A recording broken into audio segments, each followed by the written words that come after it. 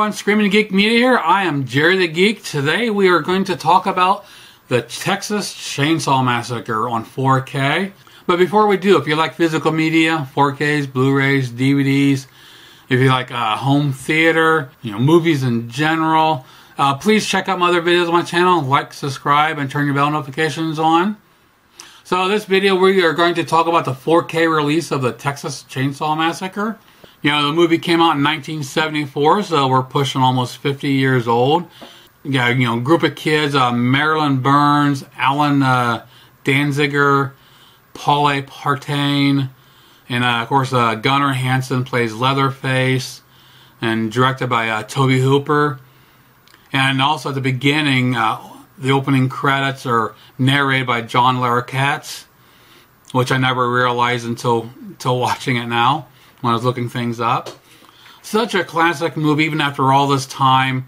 Some movies don't age well. I mean, there's, you know, if you watch, if you've watched all my other reviews I've done, some of your older films, there's been a couple that that I liked back in the day, but now 40 or 30, 40 years later, I'm asking myself what the hell I was thinking.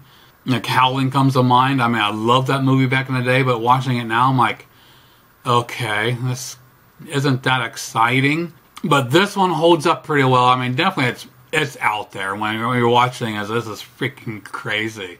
But you know, story revolves around these kids that they're going, uh, they're uh, visiting a cemetery to check out their father's grave, and also want to check out their uh, childhood home. Yeah, and things go awry when they uh, uh, walking around the property and come across a neighboring property with a cannibalistic family but still enjoy. I really enjoy the movie even today.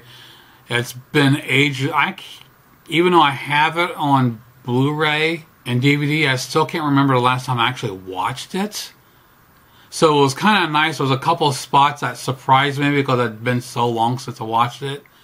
You know, getting the right visual and then the audio kick in and kind of like, oh, that was pretty cool. I forgot all about that. Because in today's society, so many of us watch these movies, and it's it's hard to surprise us a lot of times. Now, this 4K release comes from uh, Dark Sky Films. You know, I got the Steelbook here. Uh, came out on February 28th. Also has a standard release as well. You know, the movie was originally filmed on 16 millimeter. Um, it has a 4K digital intermediate, HDR10, and uh, Dolby Vision. And surprisingly, for being an old being an old film and plus 16 millimeter, go use your 16 millimeter format. Not very good way to keep film. It's, it is really hard to improve upon. But surprisingly, this one actually is pretty decent. I was I was expecting to look like total crap. Actually, it comes across. You know, has some good details, some nice pops of colors, um, reds, uh, yellows of the flowers when they're uh, uh, two of the characters when they're walking when they're come up to the house or walking across this field and the yellow I don't know if they're sunflowers or whatever they were but they were they were in the foreground. They really popped off the screen there. Um, blue sky. Uh, when they come across the generator that's running some stuff it's uh, the red on that really pops. And also the details you can actually see the uh, brand name of the generator. I think it was Wisconsin uh, the opening uh, scene with the armadillo, dead armadillo on a road. Yeah, just so much really comes out here. And later on, when they got close up of Leatherface, you can just see the skin texture of the mask itself, and the eyebrows and eyelashes that are on the mask, the stitching on the mask. So I was very impressed with this presentation here. Yes, it's a heavy granite time, but like I said, with this coming from a 16 millimeter, there's only so much you can do. This is never going to look perfect, but pretty damn good. Now, as far as comparing with the Blu-ray, I didn't. My, my Blu-ray I have. I have a steelbook that came out in 2017, and it uses a a 2014 remaster. But as far as other Blu-rays, I never had an older Blu-ray, so I'm not sure how they look. You know, the Blu-ray that I've got actually, the remaster on it's pretty damn good in itself. And, you know, comparing the two, there's only slight upticks in the details. Grain a little bit, you know, um, a little bit better structured. But the big difference was the color grading. The 4K definitely gives you a lot warmer color tones. And uh, the contrast a little bit deeper. And overall has a little bit more more rich feel to it than the Blu-ray. But again, the Blu-ray from Dark Sky was phenomenal in its own. So check out the screenshots comparing the Blu-ray and the 4K. Uh, we'll come back and talk about the audio, uh, packaging, and the bonus features. We'll see you in a couple minutes.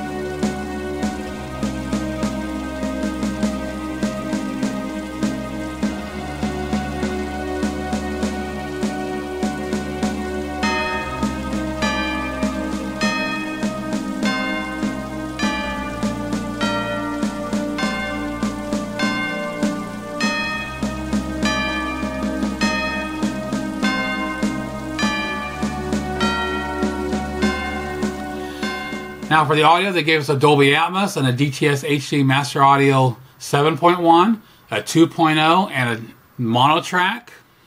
And I actually toggled between all four uh, audio tracks to kind of compare them. And then, you know, kind of give you my thoughts on those. Now, I don't have the Dolby Atmos. I only have a 5.1.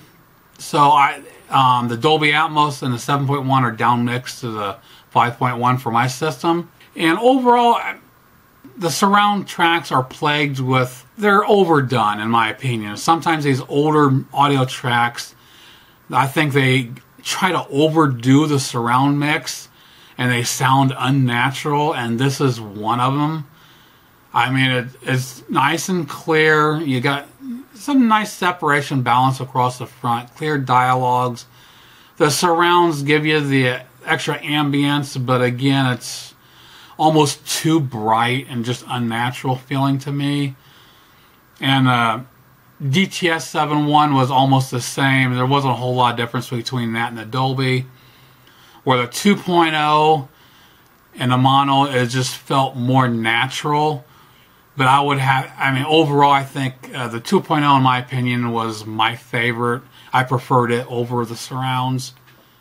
Again, even a mono track is, I mean, it, it actually sounded pretty good.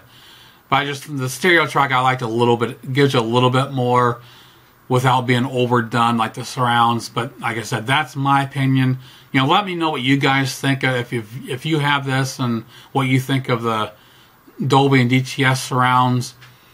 I just like again, I just think it's sometimes overdone and I think if they would have brought the levels of the surrounds, if they would have brought those levels down a little bit, maybe it wouldn't have been so bad. But just it was just in my like I said, in my opinion, it was just overdone.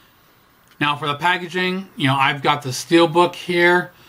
You know, it has a J card. You know, plain back, nothing fancy. Gives you a poster and uh, our internal artwork, uh, different artwork on uh, two different discs, the 4K and the Blu-ray. So for bonus features, we have quite a bit here. On a 4K uh, presentation, we have four audio commentaries.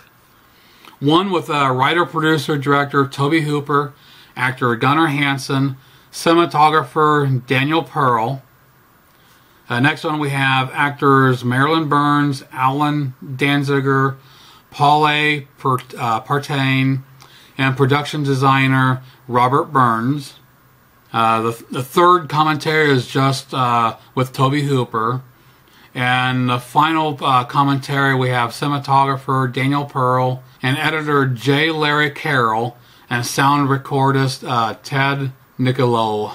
Probably pronounced that wrong, screwed up, but mean, was. So that's quite a bit. You have four commentaries on those. Now, on the Blu ray, we have a, a brand new feature length documentary, The Legacy of the Texas Chainsaw Massacre. The Cinefamily presents Friedkin Hooper, a conversation about the Texas Chainsaw Massacre between William Friedkin and Tobe Hooper, the Texas Chainsaw Massacre, The Shocking Truth, Flesh Wounds, Seven Stories of the Saw, a tour of the Texas Chainsaw Massacre house with Gunnar Hansen. I haven't watched these. I need to check these out. Some of these sound pretty good. Off the Hook with Terry McMinn. The Business of Chainsaw. Interview with production manager Ron Bozeman. Or Bosman, I mean. Deleted scenes and outtakes. No, outtakes could be right. I love outtakes. Grandpa's Tales. An interview with actor John Dugan. Cutting Chainsaw. Interview with editor J. Larry Carroll. Deleted scenes and outtakes. Okay, I'm not sure why they've got that listed twice. Whatever. Got a blooper reel, outtakes from Shocking Truth, Horrors Hallowed Grounds, Texas Chainsaw Massacre, uh, Dr. W.E. Barnes presents Making Grandpa, Still Gallery, trailers, TV spots, and radio spots. So, quite a bit to go through here. Some I've poured over from previous releases and some new stuff as well, plus the commentaries. So, to wrap it up, a very nice solid release here from Dark Sky Films. You know, if you don't have this yet on 4K, I definitely would recommend picking this up. But there's plenty of choices. I mean, we've got the Steelbook here. Um, it's selling for uh, $28.99. Uh, you can get the standard, uh, same design, just a regular keep case for uh, $22.99. You've also got a, a version coming uh, from a Turbine that came out. It's uh, you can get it from Diabolik for about forty-two dollars. And also, we got a uh, releases coming from Second Sight. There's various uh, versions of come that are coming from Second Sight. I think that comes out next month in April.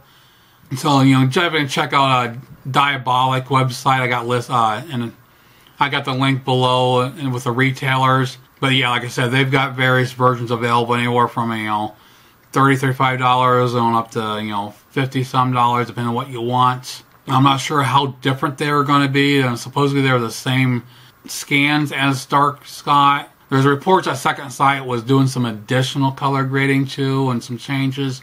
So I'm not sure. This will be interesting. This I'm not going to you know you know double dip, multi dip on getting this on 4K it'll be interesting to see some reviews from others, you know, comparing the Dark Sky version with a Second Sight or even Turbine. It'd be interesting to see what other people have to say about that. So if you're interested in uh, Texas Chainsaw Massacre on 4K, you've got a lot of choices here.